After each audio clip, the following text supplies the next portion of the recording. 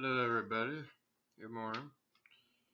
Uh, oh, if you haven't heard this song, you gotta check it out. It's called Morning by Al Jarreau.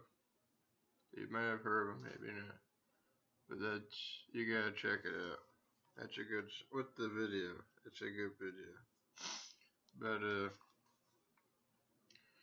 anyways, I have a new poem today. Actually, I wrote this yesterday. Oh, and uh, found make another video um by tomorrow, you know, because tomorrow's Mother's Day. Don't forget. Uh, you know, happy early Mother's Day. Yeah. Alright, and uh, this is called retracing. As long as you are holding the pencil, you can choose to be gentle. Many times we mind eh, many times what does that say?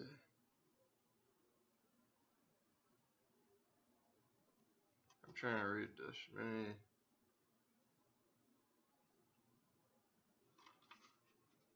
okay I got it.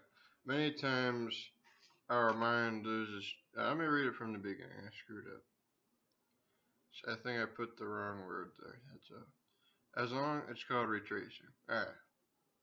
Okay. Retracing. As long as you're holding the pencil, you can choose to be gentle.